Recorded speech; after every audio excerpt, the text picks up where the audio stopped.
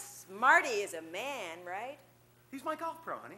Oh, you wouldn't believe the things he's got me doing. Oh, yes, I would. hey, listen, have you thought any more about our vacation plans? I mean, if we're gonna go to St. John's, we gotta make reservations soon. You know what? I talked to Marty about that. He said you're right. St. John's is a beautiful island, but there's no golf there.